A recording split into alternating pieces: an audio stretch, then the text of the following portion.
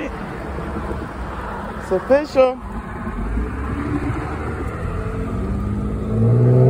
I got two weeks to turn this space into something amazing. I'm gonna shut it up and then I'm gonna open it back up. God is good, man. If you ever think he ain't, or he's not, or in doubt, he gonna doubt you too. He gonna put you through some more trials, for sure. If you don't question God and go through it, he gonna bless you. God is good. You have a great day, man. Officially. Angel's crying for me, man. Yeah, I'm covered up.